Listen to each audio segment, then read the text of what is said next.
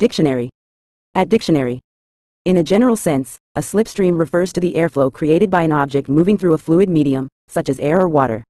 This term is commonly used in the context of vehicles, particularly aircraft and automobiles. When a vehicle moves forward, it generates a wake of disturbed air behind it. In the slipstream, this air moves more smoothly and with less resistance compared to the surrounding air. As a result, other objects or vehicles traveling behind can experience reduced air resistance, allowing them to conserve energy or achieve higher speeds by slipstreaming in the wake of the leading vehicle.